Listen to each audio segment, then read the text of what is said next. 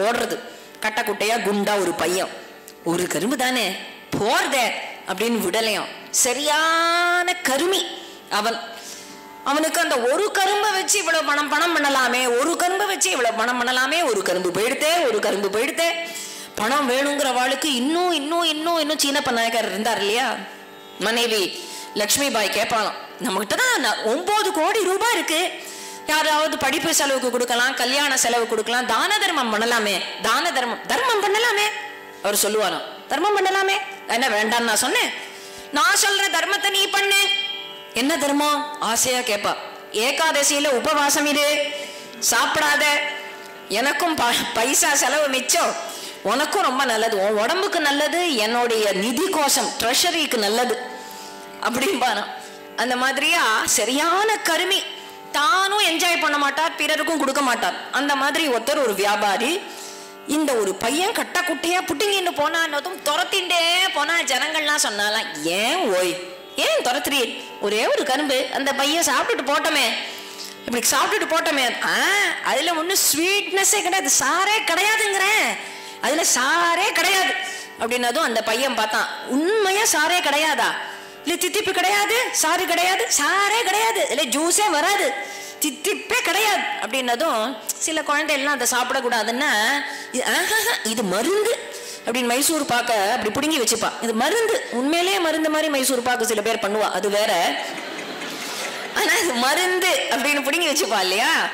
அந்த மாதிரி சாரே கிடையாது சாரே கிடையாதுன்னதும் அந்த பையன் கொடுத்துட்டு போயிட்டான். இவன் போய் ஜூஸ் கடையில் அந்த கரும்பா இது ரெண்டு மூணு கதை உண்டு கரும்பாயில விநாயகருக்கு. இது ஒரு விதமான கதை. அந்த ஜூஸ் கடையில் போய் இதை கொடுத்தா ஒரு கரும்புல கூட சார் வரலையாம். ஆயிரம் கரும்புல ஒரு கரும்புல கூட சார் வரல. என்னப்பா அது? தினமும் ஆயிரக்கணக்கான கரும்பு கொண்டு வருவோம் சரியா சாறு ஜம்முன்னு புழிஞ்சா வருமே இதுல ஒரு கரும்புல கூட இம்மி அளவு கூட சார் வரல எல்லாம் வறண்டு போயிருக்கு. சர்க்கரையே இல்லை.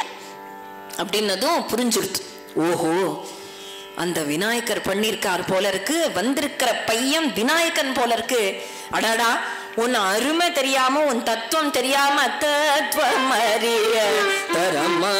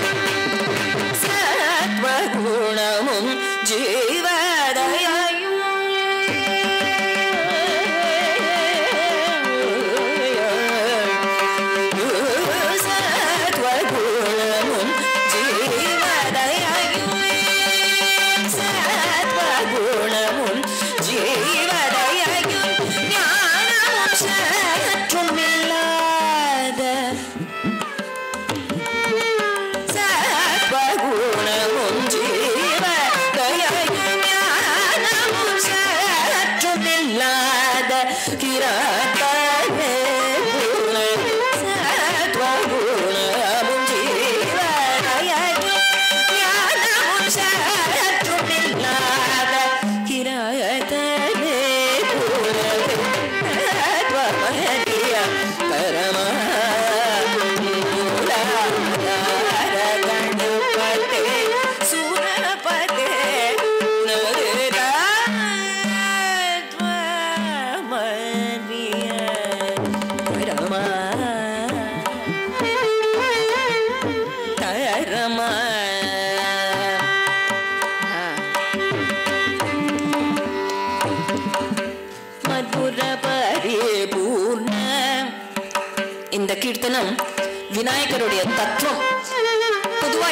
ஃபாரினர்ஸ் ஊருக்கு வந்தா என்ன உங்க தெய்வம்?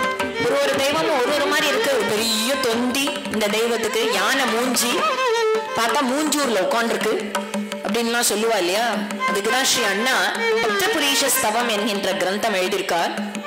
ஒவ்வொரு தெய்வமும் எது எது என்னென்ன குறிக்கிறது அந்த தத்துவம் என்ன? தத்துவம் அறிய தரமா? அப்படிங்கிறது தான் இந்த கீர்த்தனம். அதுல முதல்ல நம்ம ஒரு ஸ்லோகம் பாடினோமே இது கணேச தத்துவம். பெரிய யானை முகம் ஏன்? அவருக்கு ஏன் யானை முகம்? ஏன் பூனை முகம் இருக்கக்கூடாதா? கழுத முகம் இருக்கக்கூடாதா? ஏன் யானை முகம்னா பிரணவாகாரமானவர். அவர் பிரணவ ஸ்வரூபத்தை குறிக்கக்கூடியவர். அதானே தீட்சிதர். பிரணவ ஸ்வரூப அப்படின்னு வாதாபி கணபதியில பாடுறார் இல்லையா?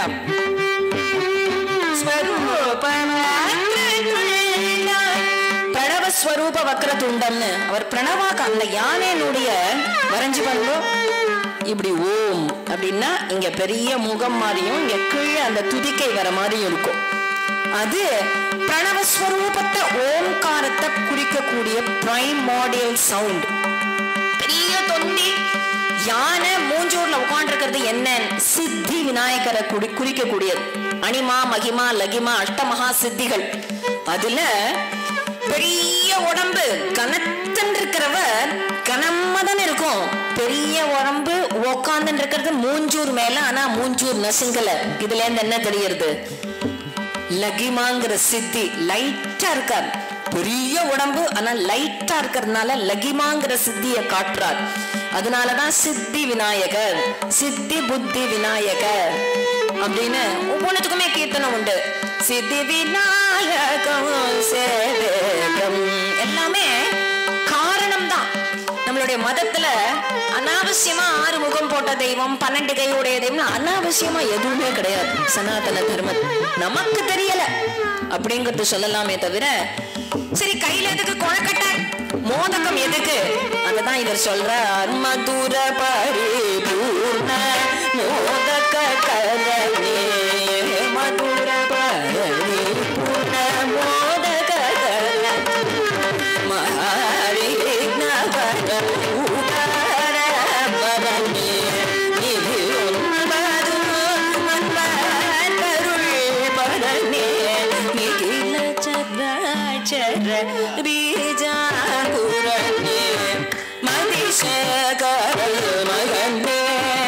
معصوم كهني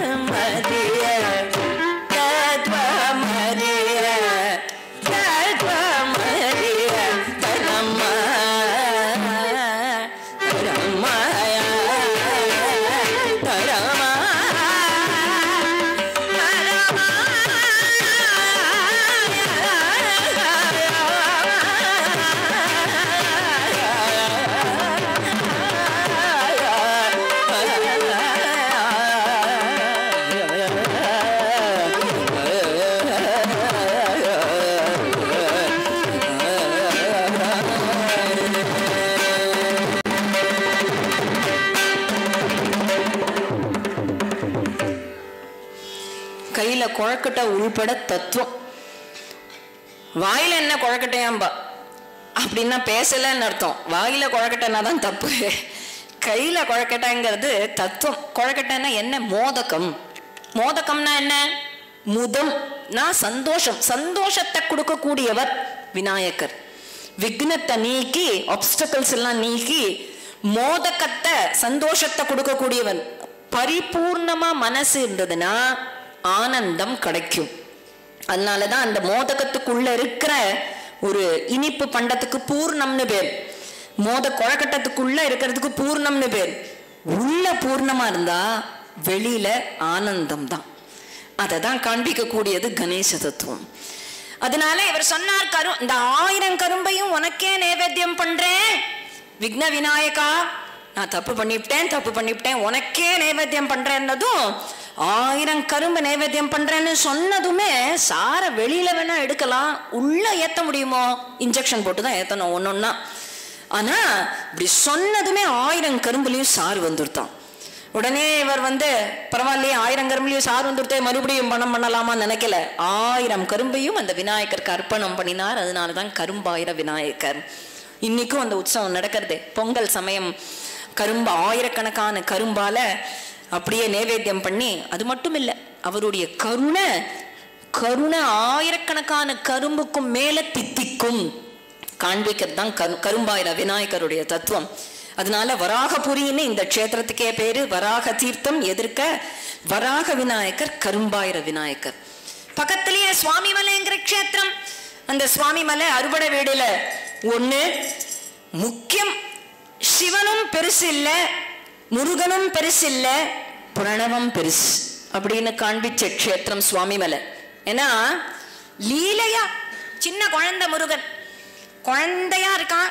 அந்த முருகன் குமரன் எப்பவுமே குமரனை குழந்தையா வழிபடுறது தான் வியாசர் எழுதின ஸ்காந்த புராணம். அதுக்கப்புறம் தான் கச்சியப்ப சிவாச்சாரியார் வள்ளி திருமணம் தேவயானி திருமணம்லாம் எழுதியிருக்கார். வியாசர் சொல்ற குமரன் குமரன் தான் தேவசேனைங்கிற தேவசேனாபதிங்கிறது தேவசேனைகளுக்கு அதிபதி. அதுதான் பிலாசபி எல்லாம். ரொம்ப பிலாசபி சொல்ல போறது இல்லை அடுத்தது இந்த சுவாமிமலை க்ஷேத்திரத்தில் பிரம்மாவையே அரெஸ்ட் பண்ணி வச்சுக்கிட்டாராம் எங்க? கும்பகோணத்துல தான் எங்க பிரம்மாவையே கும்பகோணத்துல அரெஸ்ட் பண்ணி ஆமா அரெஸ்ட் பண்ணி வச்சாச்சு. அப்ப சிவன் கேட்டாரா என்னமோ பிரம்மா குரல் கேட்ட மாதிரி இருக்கு. முருகா நீ பாத்தியோ? பார்த்தேன். பிடிச்சு வச்சிருக்கேன். உள்ள அரெஸ்ட் பண்ணி வச்சிருக்கேன். ஏன்பா? பிரணவத்தினுடைய அர்த்தம் கூட தெரியல. பிரம்மாவுக்கு சிருஷ்டி பண்றானா சிருஷ்டி. உடனே அப்பதான் சிவன் கேட்டார் அப்படின்னா உனக்கு தெரியுமா? தெரியுமே. சொல்லு பாப்போம். கேட்கிறபடி கேட்டா சொல்லுவேன். அப்படின்னதும் தான் சிவன் குழந்தைய தூக்கிக்கிறார். குழந்தை முருகனுடைய வாய்க்கு நேர தன் காது. கேட்கிறபடி கை கட்டி வாய் பொத்தி சிவனே கேட்கணுமான்னா சிவன் முக்கியம் இல்ல அங்க அப்பாங்கிற ஸ்தானமோ ஈஸ்வரன்கிற ஸ்தானமோ இவர் குழந்தைதான்கிற ஸ்தானமோ அது முக்கியம் இல்ல பிரணவத்துக்கு உண்டான மரியாதை. எதுக்குமே? தியாகராஜ சுவாமி கீர்த்தனத்தை போய் ரோடுல பாடுறது என்ன? யாருக்கு அருமை பெருமை தெரியுமோ அதுதான் பாடணும். அவள்கிட்ட தான் தியாகராஜர் புரந்தரதாசருங்கிற சொல்லையே சும்மா வந்து வரவா போறவாள்கிட்டலாம் ஒருத்தர் சொன்னாராம். பாடி காமிக்கிறதுக்கே ஒருத்தருக்கு ஆள் இல்லை. இப்படி மலைப்பிரதேசமா போயிட்டு இருந்தார் அப்போ ஒரு ஆடு மேய்க்கிறவன் அவனை கூப்பிட்டு கொஞ்சம் சித்த நேரம் உட்காருப்பா. நான் ஒரே ஒரு பாட்டு பாடி காமிக்கிறேன்.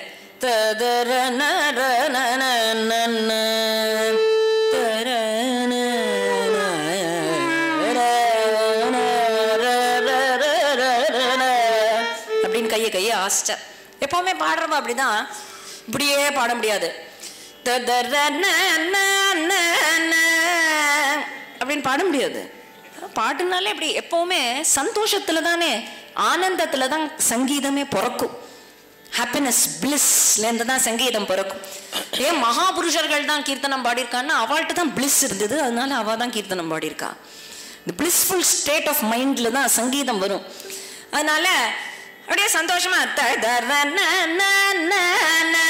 பாடினார் இந்த ஆடு மேய்க்கிறவன் அழ ஆரம்பிச்சுட்டான் ஓன்னு அழ ஆரம்பிச்சுட்டான். இவர் நிறுத்தின்றார் காம்போதிய. அவன் என்ன கண்டான்? காம்போதிய கண்டானா? தோடிய கண்டா கண்டானா? கல்யாணிய கண்டானா? ஏன்பா அழற? நான் எவ்வளவு ஆனந்தமா காம்போதி மேல் செஞ்சால ஓன்னு அழுதான். ஆமா. எவ்வளவு நான் லேச்சு பாடிட்டு இருக்கும்போது அழறியே. என்ன ஆச்சு சொல்லு. இல்ல சாமி ரொம்ப பயமா இருக்கு சாமி. என்ன? இப்படிதான் எப்படிதான் சாமி போன மாசம் நீங்க கை எப்படி வட்டு வட்டுன்னு இப்படி பண்ணிக்கிறீங்களே அதே மாதிரிதான் என் ஆடு காலை அப்படி வட்டு வட்டுன்னு உதச்சுது இப்படி காலெல்லாம் இப்படி இழுத்துது வாயெல்லாம் கோணித்து உங்களை மாதிரியே தான் கோணித்து. அப்புறம் காய் வட வட்ட நடுங்கி போய் ஆடு போயிடுச்சு. அதே மாதிரி நீங்க பண்றீங்க சாமி எனக்கு ரொம்ப பயமா இருக்கு சாமி. நீங்களும் போயிடுவீங்களோன்னு பயமா இருக்கு. அப்பா அம்மா சொன்னா மகாபாரதத்துல வர கதை. பதிரேஷ் வகாயனகான வேல்யூ தெரியாத வாழ்கிட்ட போய் பாடினது ஒந்தப்பு இல்லை எந்தப்பு? காம்போதியை போய் ஆடு மேய்க்கிறவன்ட்ட பாடுறேன்னு பாடி காமிச்சா.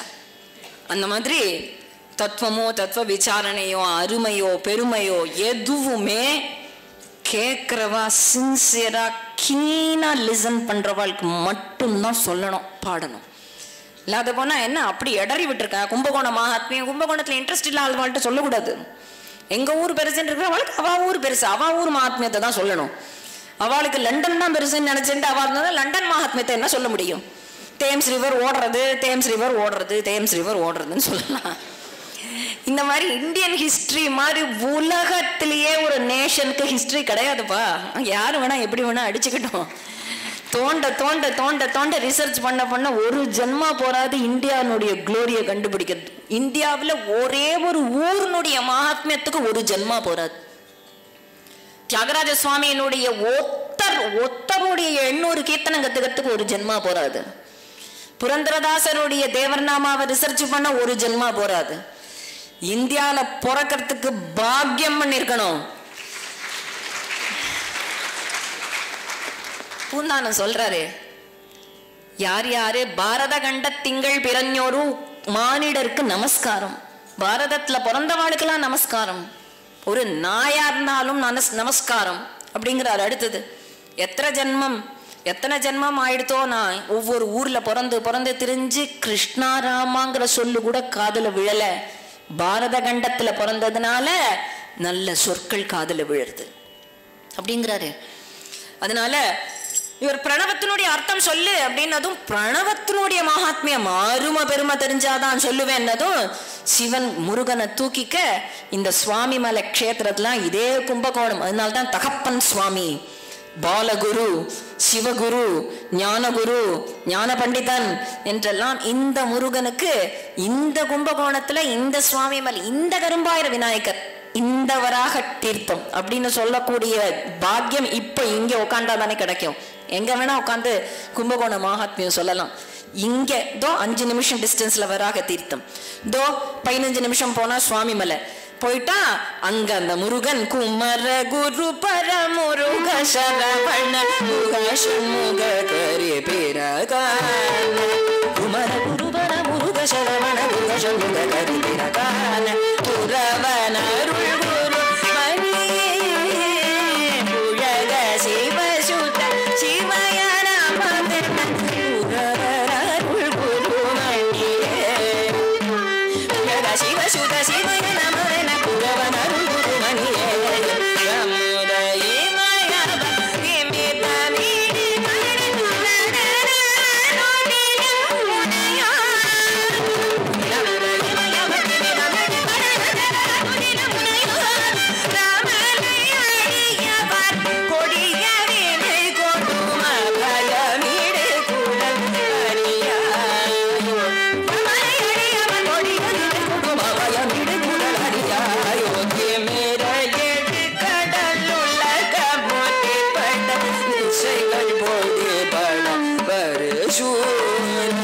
Dime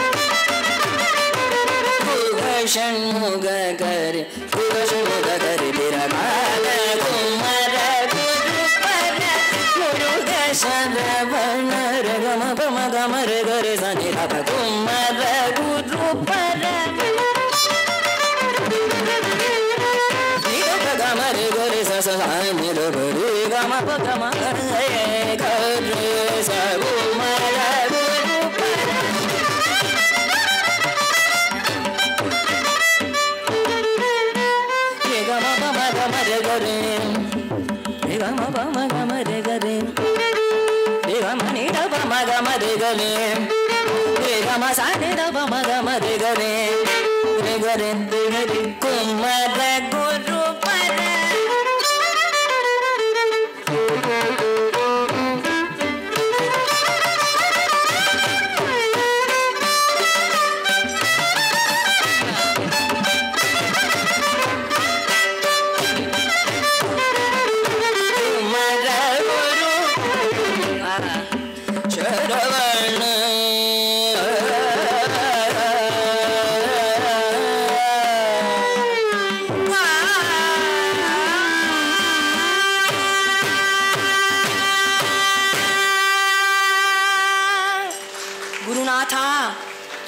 அழைக்கப்படுறார் அருணகிரிநாதர். அருணகிரிநாதர் இங்க வந்திருக்கார். கும்பகோணம் வந்திருக்கார். புரந்தரதாசர் கும்பகோணம் வந்திருக்கார். புரந்தரதாசர் கன்னடத்துல பாடுறார். தீக்ஷிதர் வந்திருக்கார். சம்ஸ்கிருதத்துல பாடுறார். யாரு பாடல. அத்தனை பேரும் கும்பகோண மகாத்மியத்தை பாடு சுவாமிநாத பரிபாலயா ஆசுமாம்னு நாட்டையில சுவாமிநாத முருகனை பாட் சுவாமிமலை முருகனை பாடுறார். இப்படி பிரணவாக்காரத்தை பாடி பிறகு இங்கே ஆதி கும்பேஸ்வரருடைய சரித்திரத்தை ஸ்ரீ அண்ணா திவ்யதேச வைபவம் என்கின்ற கிரந்தத்தில் ஆரம்பிக்கிறார். குடமூக்கு அப்படி என்- அப்படின்னு ஒரு பெயர் கும்பகோணத்து. பா அந்த பாடல் பெற்ற ஸ்தலம் இல்லையா? இது கும்பகோணம்ங்கிறது நாயன்மார்களும் பாடியிருக்கா ஆழ்வார்க்கு முதலையே சொல்லிட்டோம். சைவம் வைஷ்ணவம் எல்லா திருமதஸ்தாளுக்கும். திருமதம்ங்கிறது தான் முக்கோணம்னு சொன்னோம். அத்வைதம் துவைத்தம் விசிஷ்டாத்வைத்தம். பாடல் பெற்ற ஸ்தலம் நாயன்மார்களும் பாடியிருக்கா? திவ்ய தேசம் அதனால ஆழ்வார்களும் பாடியிருக்கா? இதுக்கு ஆரம்பம் ஒரு பிரளயம். பொதுவா பிரளயம் என்கின்றது டிஸ்ட்ரக்ஷன் அப்படின்னு சொல்லுவான் இந்த டிஸ்ட்ரக்ஷன் பிரளயத்திலேயே நாலு விதமான பிரளயம் இருக்கான் நித்திய பிரளயம் நைமித்திக பிரளயம் மகா பிரளயம் ஆத்தியந்திக பிரளயம். ஒரு சமயம் நைமித்திக பிரளயம் என்கின்ற மூன்று உலகம் மட்டும் அழியும். நித்திய பிரளயம்ங்கிறது தினமே உலகம் அழியும். எங்க தினம் உலகம் அழியறது? ஏன் உலகம் இருந்துன்னு தானே இருக்கு. உலகம் இருக்கிற மாதிரி இருக்கு கண்ணுக்கு. தினம் எத்தனை பேர் சாகரான்னு சென்சஸ் எடுத்து பார்த்தா சாகிறதும் பிறக்கிறதும் பர்த்தும் டெத்தும் ஆல்மோஸ்ட் சேமா இருக்கும். அப்படிதானே யூனிவர்ஸ் ஆரம்பிச்சதுலே இந்த பார்த்தா கணக்கு எடுத்து எடுத்து எடுத்து இருந்துட்டே இருக்கிற மாதிரி தான் இருக்கு. இல்லையே. தாத்தா இல்லையே. குழு தாத்தா இல்லையே எள்ளு தாத்தா இல்லையே பாட்டி இல்லையே அந்த குழந்தை இல்லையே இவா இல்லையே அவா இல்லையே அப்ப இல்லையே. இப்ப நித்தியம் நடக்கிற சாவு. அல்லது நித்தியம் நம்ம தூங்குறோம். தூங்கும்போது லயிச்சு போயிடுறோம். லயம் அப்படின்னா ஒன்றி போறது. லயம் அப்படின்னா இப்போ மிருதங்க வித்வான் இந்த தாளத்தை காண்பிக்கிறாரே அதுதான் லயம் அப்படிங்கிறது இல்லை. பாட்டோட ஒன்றி போறதுனால அதுக்கு லயம்னு பேர். பிரளயம். மனோலயம் கான்சென்ட்ரேஷன் ஆர் அப்படியே மர்ஜிங்னு சொல்லலாம். அந்த லயம்ங்கிறது எல்லா உலகமும் ஒரு இடத்துல போய் ஒடுங்கிறது. நித்தியம் எங்க நம்ம எங்க உலகம் ஒடுங்கிறதுனா நம்ம அப்படியே தூங்கும்போது உலகமே நமக்கு தெரியல ஒடுங்கி போயிடுறது. அடங்கி ஒடுங்கி நம்ம மனசுக்குள்ள போயிடுறது. தூங்குறோம். அப்பா நன்னா தூங்கினோம் அப்படின்னு சொல்றோம். அப்போ தினமும் தூங்கும்போது ஒரு பிரளயம் நடக்கிறது அதான் நித்திய பிரளயம். நைமித்திக பிரளயம்ங்கிறது பூலோகம் ஸ்வர்கலோகம் பாத்தாளம் மூன்று லோகம் மட்டும் அழியிறது. அப்படின்னா நிறைய உலகம் இருக்கா? இருக்கு. பதினாலு உலகம் சொல்லப்பட்டிருக்கு. ஃபோர்டீன் வேர்ல்ட்ஸ் ஈரேழு உலகம்னு சொல்றா இல்லையா? அதலம் விதலம் சுதலம் பாதாளம் ரசாதலம் தலாதலம் அதெல்லாம் கீழே. அதுக்கு மேல ஜனலோகம் மகர்லோகம் தபோலோகம் சத் சத்தியலோகம்லாம் சொல்றாரு. அதெல்லாம் மேல. பதினாலு உலகத்துல மூணு உலகம் மட்டும் அழியுமா என்ன? அப்படின்னு கேட்டா சான்ஸ் இருக்கு. இதே வேர்ல்டுலயே ஜப்பான்ல எங்கேயோ வால்கனோ வெடிச்சது அங்க மட்டும் அழியிறது. இல்ல இந்தியாவிலேயே கொஞ்சம் வருஷம் முன்னாடி குஜராத்ல குவேக் வந்தது அந்த இடம் மட்டும் அழியிறது. அப்படின்னா மற்ற இடங்கள்ல இருக்கிறவங்களாம் வேடிக்கை பார்க்கறா இல்லையா? அந்த மாதிரி பூலோகம் ஸ்வர்கலோகம் பாத்தாளம் மூணு மட்டும் அழிஞ்ச சமயம் நைமித்திக்க பிரளயம்னு பேர். அதாவது பிரம்மாவுக்கு அது ஒரு ரா- ஒரு நாள். அந்த பிரம்மாவுடைய ஒரு நாள் போது அவர் தூங்குவாரே அந்த ராத்திரி. அந்த ராத்திரி தான் இந்த மூணு வேர்ல்டும் அழியிறார் நம்ம தினம் தூங்குறது நித்தியம் நித்திய பிரளயம். பிரம்மாவனுடைய தூக்கம் மூணு உலகம் அழியிறது. அந்த நைமித்திக பிரளயம் ஒரு சமயம். கதா பரியாயே லய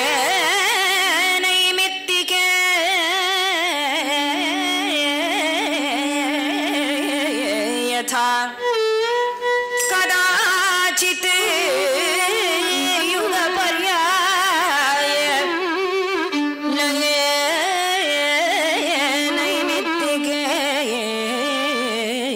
यथा अभूत सर्वत्र सलिलं ददृशे सागरो यथा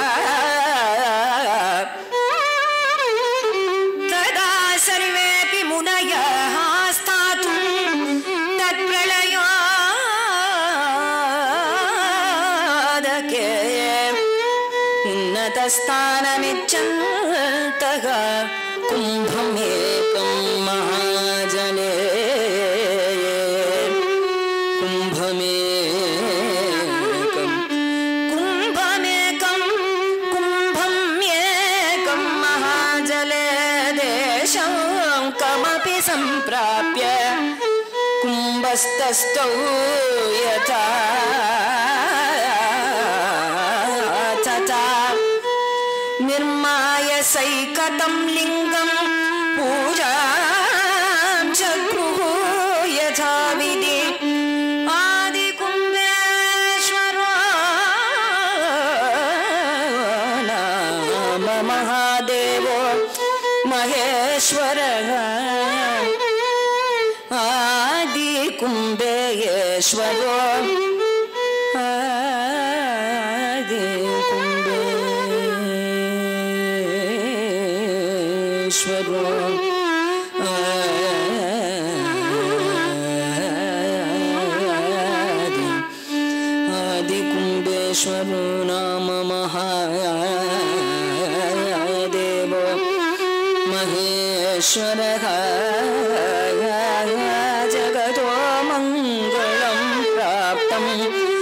ದಸ ಮಂಗಳಾಂಬಿಕಾ